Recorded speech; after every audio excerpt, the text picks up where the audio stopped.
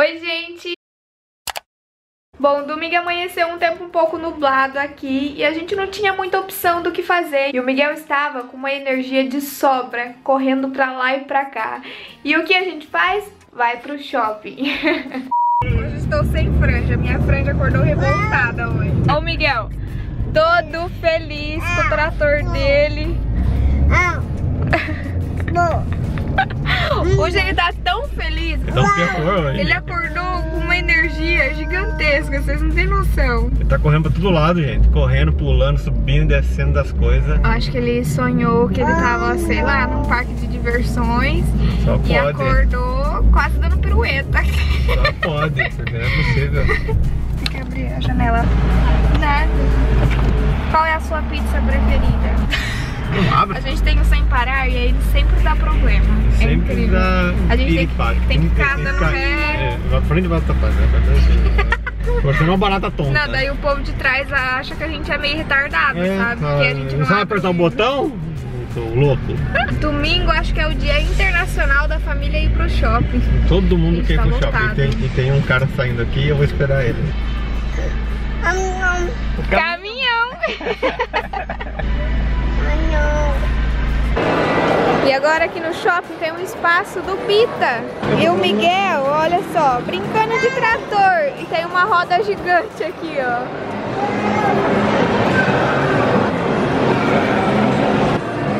Aí aqui do outro lado tem balão.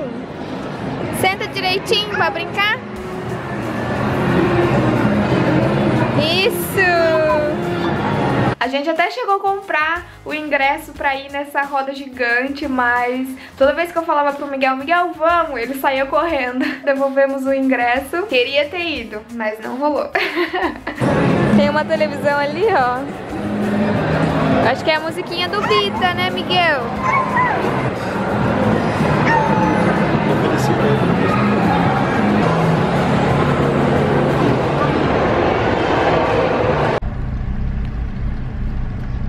Gostoso esse pirulito? E aí, o que aconteceu? O Miguel não tirou a sonequinha dele na hora certa. E aí ele estava super enjoadinho lá no shopping. E o que aconteceu? Estamos indo para casa. Eu tentei ir naquele espaço que tem pra amamentar, mas tinha uma mulher. Acho que não devia ser perto, né? O Não. lugar de amamentar junto com as crianças brincando. Porque tinha uma mãe brincando com a filha e elas estavam super empolgadas. E aí a menininha ria e gritava e o Miguel nunca ia conseguir dormir. Ele escutava ela rindo, ele saía do meu colo e eu olhava e depois ele vinha pra mamar. E aí teve uma hora que ele começou a brincar com a cortina e se interter. E aí já, Já era. e quando ele fica assim com sono, ele fica super enjoadinho. Nada tá bom pra ele. E aí compramos um pirulito, aquele de coraçãozinho mesmo. E ele tá ali chupando, intertido. Daqui a pouco ele. Dormir. Então a gente resolveu ir pra casa. Mas primeiro vamos na onde? Habibs. Quem vai sair da dieta hoje? Não, não sei dieta. Ué, você vai comer esfirra? Ah, mas você é pouco esfirra. Mas você vai sair da dieta, você tem que comer esfirra de alface, então. Uh, Mas esfirra de alface. Esfirra de repolho. Repolho. Você gosta de repolho? Não, repolho. E aí vocês me perguntam, Vanessa, o Miguel come de tudo? Come.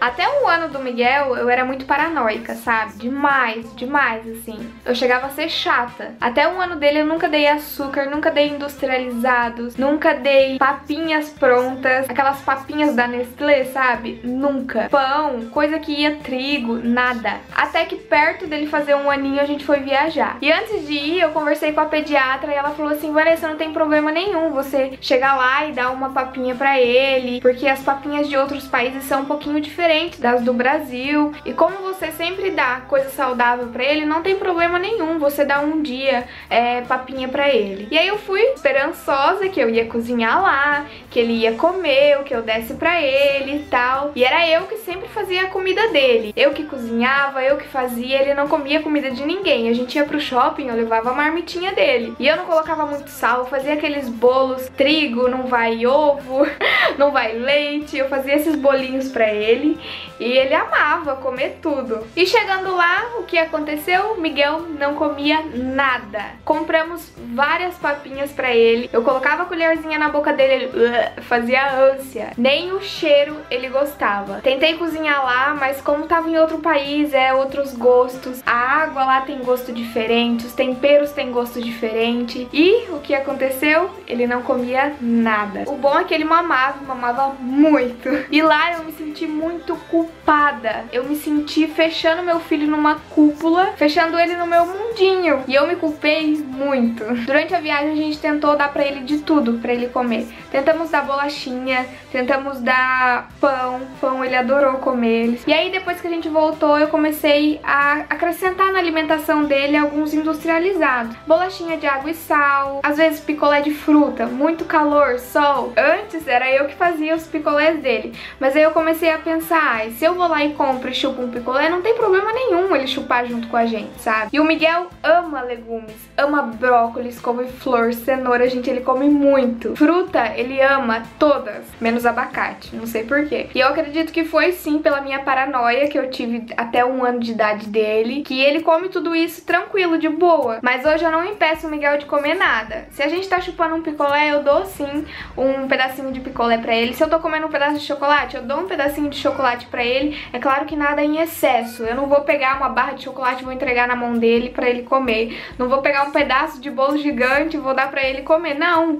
Se ele viu, eu não deixo ele passar vontade. Se ele viu, eu vou e pego um pedacinho e dou pra ele. Refrigerante eu nunca dei. E ele também nunca me viu tomando refrigerante. Então ele nunca vai passar vontade de tomar refrigerante. Isso eu quero evitar até quando eu puder. Ai, meu Deus, chegou aqui. Ai, ai, ai, ai, ai. um beijo.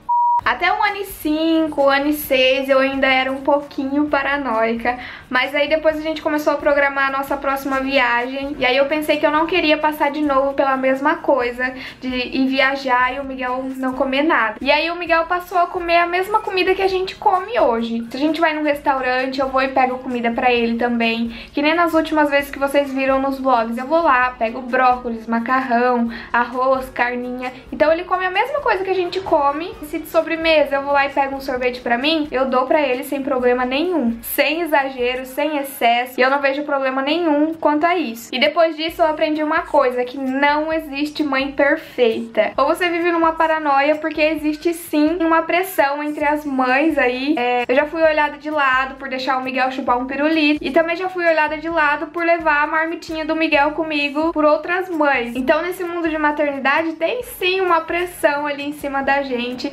Mas hoje eu sigo o que o meu coração manda. Eu sigo o método da minha família, um método que se encaixa pra gente. E é claro, a saúde do Miguel em primeiro lugar. O Miguel é uma criança saudável, ele come super bem, ele almoça, ele janta, ele toma o café da tarde, ele come fruta durante o dia, ele toma muita água. Então, ele é uma criança saudável. E não é porque eu dou um pirulito pra ele, não é porque eu dou um pedaço de chocolate pra ele, que eu sou uma péssima mãe, que eu vou ser crucificada. Não existe isso pra mim. Aqui é tudo sem exagero, sem estresse, sem paranoia. E olha só o que eu disse pra vocês, ó. O pirulito inteiro dele ficou, chupou só um pouquinho. Capotou.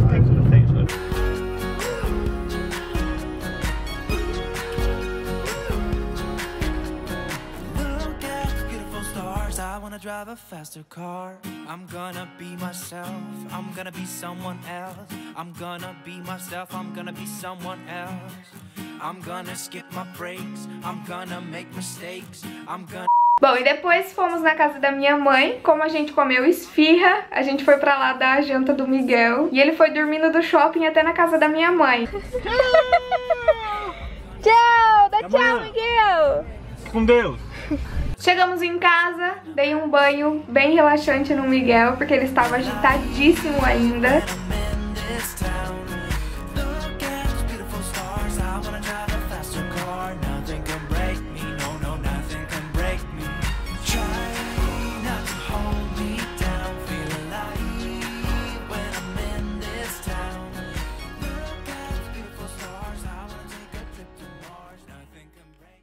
Bom, e se você não viu o nosso vídeo da rotina noturna, eu mostrei tudinho pra vocês como funciona a nossa rotina, a rotina do sono do Miguel. Bom, então é isso, eu espero muito que vocês tenham gostado desse vídeo. Se você gostou, clica em gostei aqui embaixo, se inscreve no canal. Não se esqueça de me seguir lá nas redes sociais, eu mostro tudo em tempo real.